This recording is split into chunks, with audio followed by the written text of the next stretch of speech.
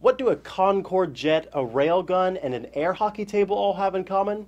According to the founder of Tesla and SpaceX, together they describe a potential new form of high speed transportation called Hyperloop. Elon Musk says he has an idea for what he calls a fifth mode of transportation, something faster and less expensive than a bullet train. I think it would be a really great way, better than a high speed rail um, or, or a plane, between, between the right city pairs, like San Francisco or uh, San Francisco and LA or uh, New York, Boston. Musk criticized California's proposal for a massively expensive high speed rail, claiming it would cost almost $100 billion and wouldn't be nearly as fast as similar systems in Europe and China. He says Hyperloop could be built at a tenth of the cost per mile and would be able to get you from San Francisco to LA in under a half hour. But Musk's description of a Concorde railgun air hockey table transporter is so vague it couldn't possibly be real, right? Business Insider claims it is real, and the idea behind it has been thought of before. In 1972, Rand Corporation released a document detailing an underground tube system that could take people from LA to New York in under 21 minutes,